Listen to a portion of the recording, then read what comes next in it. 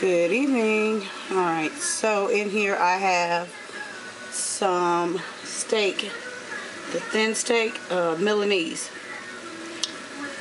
Already cut, spiced and seasoned. I have some diced tomatoes with green chilies here.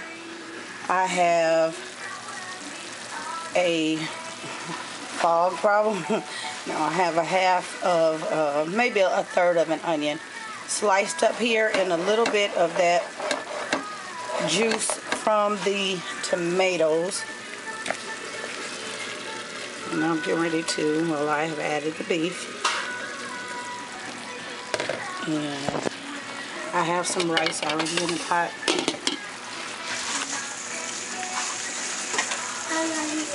For some reason I can't find my spoon, but oh, see it. So we're just going to brown this up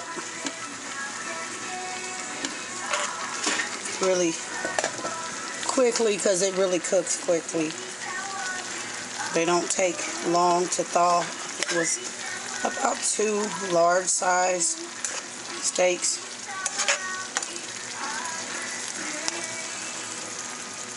And the little ones are actually not having steak, they're having something else. So it's not a lot um, that I had to do for them.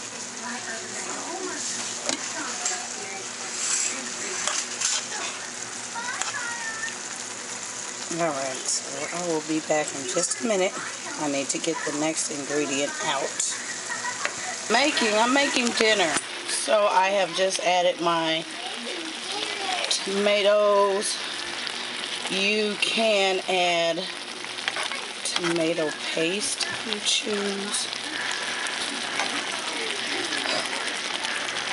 I am not really a huge fan of tomatoes, but because I know the health benefits, I use them and I'm more likely to use a diced tomato. So that it's not so tomatoey. that makes sense.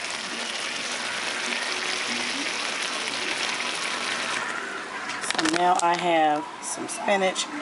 You can use fresh. I don't have any fresh at the moment, but usually I use fresh.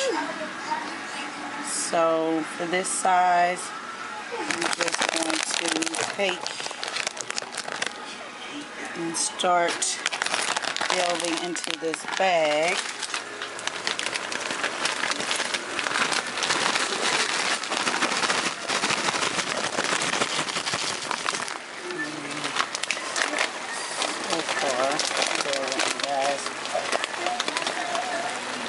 Right, so put the camera down, but I added whole bag. I love spinach, and I did just say fresh or frozen. I forgot canned. Canned works just as well. Do you. Whatever works, works. I keep a mixture of everything because I never know. I love fresh, but sometimes that is not an option.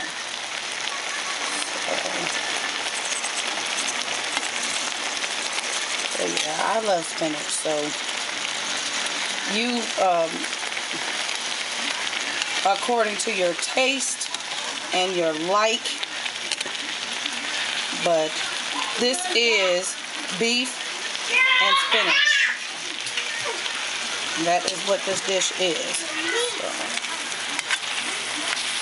And you just want to let this cook down. It is on high because the meat pretty much is already cooked and you just need the spinach to cook down. You might want to give it a little taste and see if it is seasoned to your liking at this point. And, um, you know, pretty much add whatever you, you like. There's no hard and fast uh, seasoning.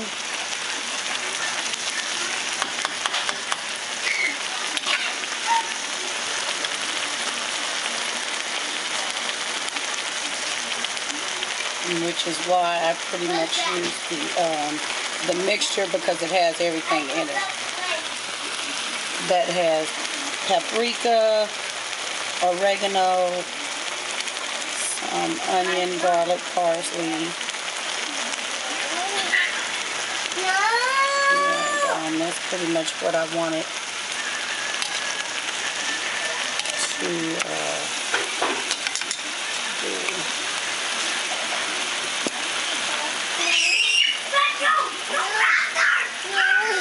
Oh, he's bothering you. So anywho, I just added another light sprinkle, but that's it. This is just going to cook down for another few minutes and it will be done and I will come back once it is um, plated. I'll just kind of show you all what it looks like.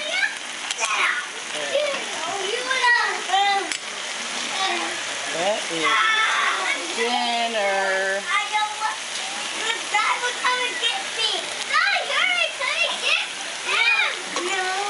Alright guys, sorry about that spoon, but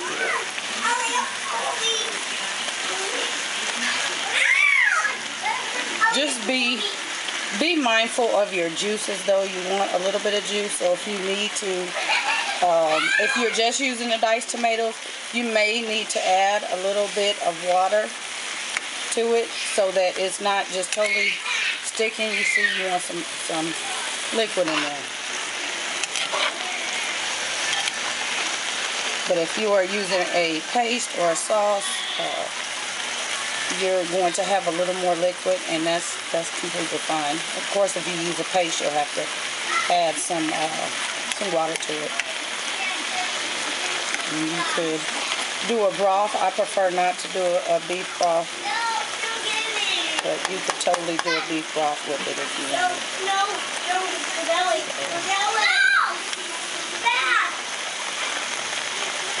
thumbs up, subscribe, and hope you guys enjoy the recipe. So I'm going to let this cook, and we will have our dinner.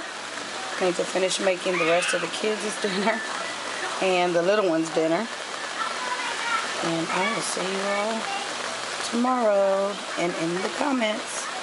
Bye.